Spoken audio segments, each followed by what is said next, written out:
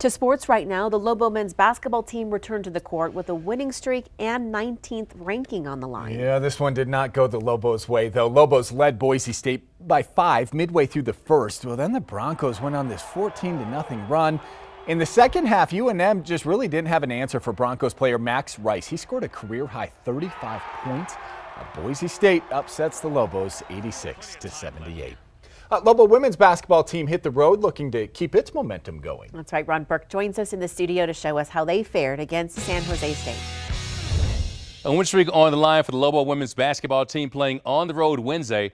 Mike Bradbury and company trying for a fifth straight victory at San Jose State in a matinee, and they get off to a good start. Lara Langerman dishes to a wide open Anaya Augmon, and she cashes a three ball. Augmon on her way to a 13 point afternoon. And then it's Augmon looping a pass inside to Viané Cumber. The nice smooth catch, basket and foul. Three-point play puts the Lobos up by 12 in the second. They would lead the Spartans by four at the break.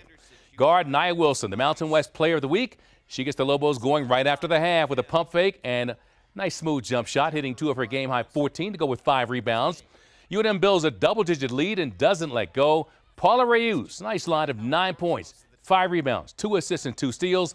Lobos lead for all but a minute and a half of this when they beat the Spartans 65-54.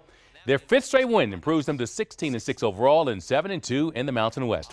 That's a look at sports. Have a great day.